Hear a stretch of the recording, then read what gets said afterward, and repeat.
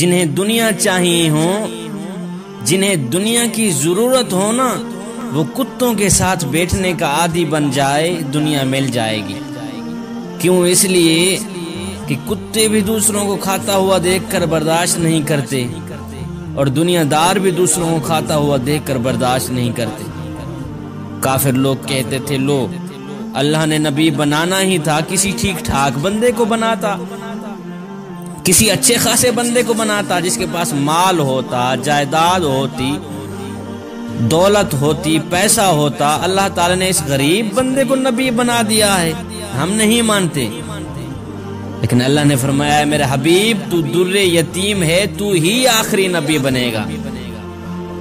یا اللہ، جس نبی کے لیے تو نے سب کچھ کیا ہے اس یار کو دو چار سو مربع زمین کے بھی دے دیتا، جس یار کے لیے تو نے سب کچھ بنایا ہے۔ اس یار کو دو چار سو مربع زمین کے بھی دے دیتا۔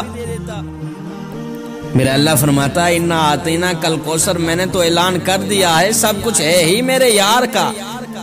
یا مولا، یہ تو تیرا اعلان تھا، پر ظاہری طور پر تو کچھ نہیں تھا۔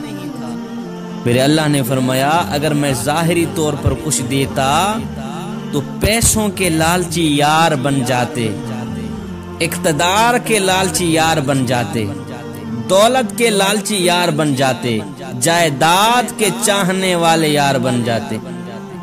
اے میرے حبیب، میں یہ نہیں چاہتا کہ کوئی لالچ کی بنیاد پر کلمہ پڑھے، کوئی پیسے کی لالچ میں کلمہ پڑھے۔ کوئی اقتدار کی لالچ میں آ کر کلمہ پڑھے؟ نہیں نہیں، اے میرے حبیب، میں تو یہ چاہتا ہوں کہ جو بھی کلمہ پڑھے، تیرے زلفوں کا قیدی بن کر کلمہ پڑھے، تاکہ پیٹ پر پتھر باندھنے پڑ جائیں، کوئی تجھے چھوڑ کر نہ جائے۔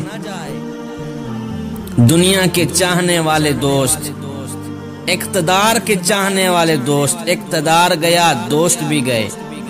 مال کے چاہنے والے دوست مال گیا، دوست بھی گئے۔ پیسے کے لالچی دوست، پیسہ گیا، دوست بھی گئے۔ لیکن میرے مسلمان بھائیو، نبی نے پیٹ پر پتھر باندھے ہیں، کوئی چھوڑ کر کے نہیں گیا۔ میں نے پوچھا، صحابہ تم نے کیوں نہیں چھوڑا؟ صحابہ نے کہا، اس لیے کہ ہم نے پیسہ دیکھ کر کلمہ نہیں پڑھا۔ ہم نے جائیداد دیکھ کر کلمہ نہیں پڑا ہم نے اقتدار دیکھ کر کلمہ نہیں پڑا اور ہم نے تو حسن یار دیکھ کر کلمہ پڑا ہے۔